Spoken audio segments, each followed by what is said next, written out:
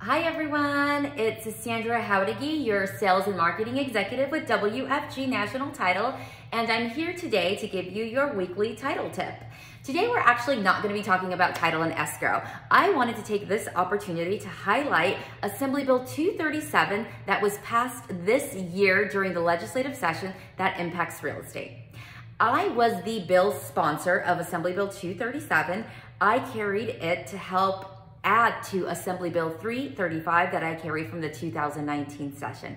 And for those of you who were around a couple of years ago, you remember when I got back from the legislature that I gave an update and we talked about all the great things that we accomplished with Assembly Bill 335. One, we capped resale package fees at $185. We extended the life uh, the life of a resale package from 30 days to 90 days. We changed an NRS, the verbiage that said resale packages must be delivered in 10 days. That was interpreted by the industry to mean 10 business days to clearly say 10 calendar days so that Saturdays, Sundays, and holidays are counted. We also capped demand fees at $165. We kept transfer fees at $350, rush fees at $100 and said they had to be turned around in three days. And we also eliminated the fee that allowed um, association management companies to charge $35 for sending, um, $25 for sending the documents electronically. Well, this year we added to that bill. Uh, we accomplished two things with Assembly Bill 237. One, we said that uh, associations can't charge fees other than those fees that are outlined in statute. So we did see after the passage of Assembly Bill 335 that some associations started charging additional fees like maintenance fees, inspection fees of $100, fees that we had never seen before until after the passage of Assembly Bill 335.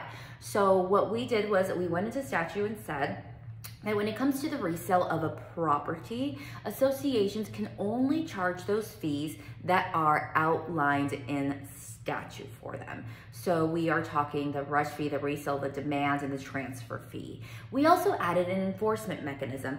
There are some smaller HOAs that maybe aren't part of the larger uh, trade organizations, uh, HOA management companies that aren't part of larger trade organizations, and maybe sometimes don't keep up with the laws as they change. And we want to make sure that everyone is incentivized to do so so that they are following the law. So we did add an enforcement mechanism saying that um, if an HOA management company is charging fees other than those that they are allowed to charge by law or charging over than what they are allowed to charge by law, that you can report them to the real estate division and they can be assessed an administrative penalty of $250.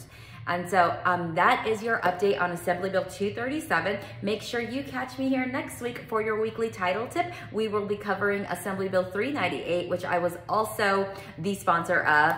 And we will continue every single week with a new update on the bills that were passed this year that impact real estate. Remember, I am Sandra Jauregui, your sales and marketing executive with WFG National Title. I look forward to working with you this year, what's left of this year, on future title and escrows and all of your marketing needs. So reach out to me if you need me, 702-336-4348. And don't forget to write WFG into your next offer or your next listing. Thanks, everyone.